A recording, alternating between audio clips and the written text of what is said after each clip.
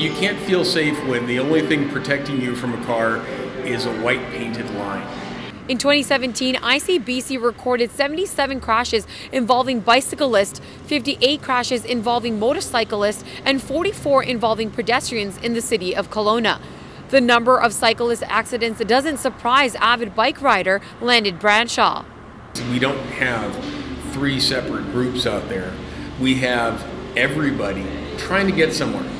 Everybody might be choosing to use a different way, but we're all trying to do the same thing. Over the five year span that the data was collected, this intersection of Harvey Avenue and Richter Street is listed as one of the most dangerous for cyclists, as they saw 16 incidents in total.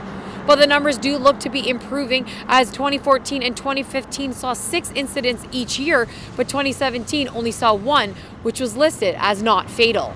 I think 2017 was a one off. We saw a death in, in 2018, we saw another death in 2019. The numbers are increasing, the population is growing.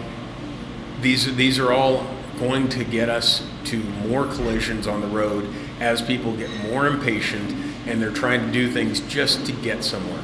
This intersection of Gordon Drive and KLO Road was amongst the worst for those on bicycles, while Harvey and Spall was amongst the worst for those on a motorcycle.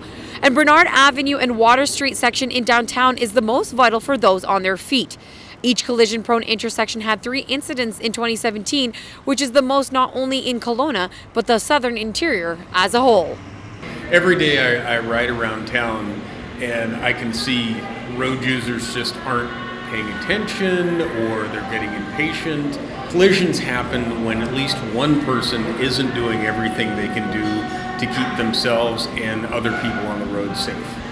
For a full list of incidents in your area, click on the link provided in the article below. Sarita Patel, Castanet News, Kelowna.